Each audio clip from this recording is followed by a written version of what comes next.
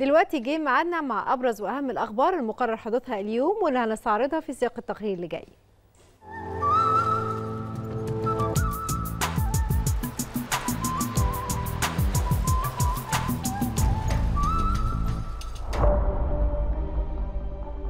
بخصوص الأخبار اللي هتحصل النهاردة فالنهاردة مجلس الأمناء بالحوار الوطني هيعقد اجتماع لمناقشة ملف تحويل الدعم بالإضافة لوضع قضايا الأمن القومي والسياسة الخارجية على طاولة المناقشات في إطار توجيهات الرئيس عبد الفتاح السيسي بإدراك قضايا الأمن القومي والسياسة الخارجية. وتلقت الأمانة الفنية المقترحات الخاصة بملف تحويل الدعم كمرحلة أولى بيليها دراسة وتجميع للمقترحات تمهيداً لعرضها على مجلس الأمناء.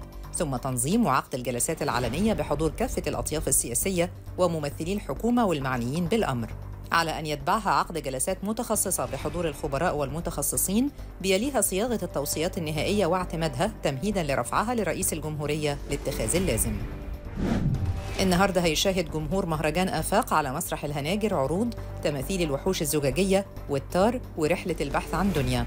وده بمرحلة النهائيات لمهرجان آفاق مسرحية في نسخته العشرة دورة الفنان نور الشريف. اللي بتقام على مسرح الهناجر من 29 أكتوبر حتى 7 نوفمبر وبتبدأ العروض في السابعة مساء بالمجان والعشاء الكرة المصرية موعدهم النهارده مع مباراتين مهمين في إطار الجولة الأولى من عمر مسابقة الدوري المصري، هيلتقي الإسماعيلي مع غزل المحلة في تمام الساعة الخامسة مساء، وفي الثامنة هيلتقي الأهلي مع سيراميكا. النهارده والعشاء الكرة الإنجليزية موعدهم أيضا مع سبع مباريات قوية في إطار الجولة العشرة من عمر مسابقة الدوري. من أهمها مباراة نيوكاسل مع أرسنال في تمام الساعة الثانية والنصف ظهرا ومباراة ليفربول مع برايتون في تمام الساعة الخامسة مساء. في نفس التوقيت مباراة مانشستر سيتي مع بورنموث.